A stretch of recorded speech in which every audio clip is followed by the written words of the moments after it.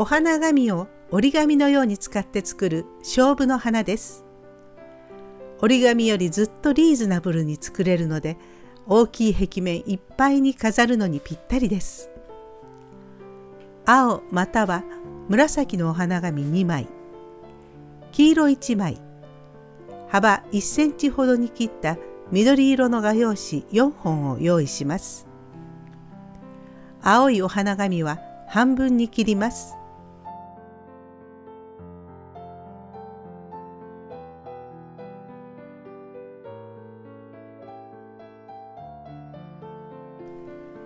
艶がある方が表になるように斜めに折り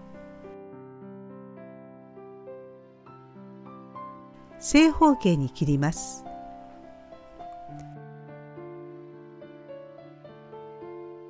一度開いて向きを変えて三角に折り折り目をつけておきます。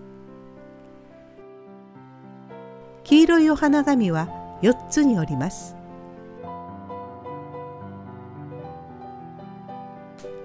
輪になっていない方を斜めに折って正方形に切ります。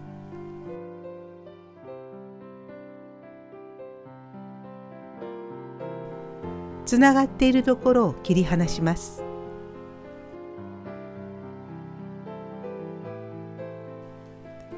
重ねてみると一回り小さくなっているのがわかります。青と黄色を1枚ずつ取り青いお花紙の裏に黄色いお花紙を貼ります。拡大してみましょう。黄色のお花紙の周りにぐるっとスティックのりをつけます。裏返して青いお花紙のザラザラした方に貼ります。これを折ったり切ったりして勝負の花を作ります。まず黄色い方が内側になるように三角に折ります。中心から細く曲線を描くように切り取ります。開いて切り取ったところが真ん中に来るように三角に折り90度向きを変えて黄色が見えるように三角に折ります。黄色いところが向こう側に来るように持ち今度は切り取らず曲線を描くように黄色いところの手前まで切り込みを入れます。開いたら青い方の中心に少し糊をつけ切り込みを入れたところを折ります。黄色が見えるのでその両側に糊を少しつけ切ったところを下に折り曲げます。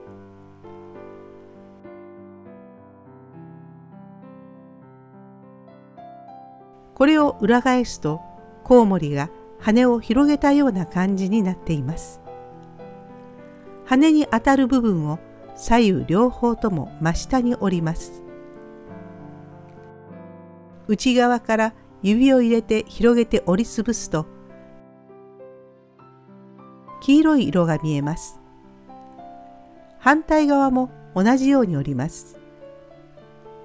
指の代わりにハサミの先など細長いものを使ってもいいです。折り目の内側と真ん中を開いたところを貼っておきましょう。裏返して真ん中に緑色の画用紙を貼り付ければ勝負の花の出来上がりです。花をたくさん作って画用紙で作った葉と一緒に飾りましょう。鯉のぼりも一緒に飾ると5月の壁面にぴったりですね。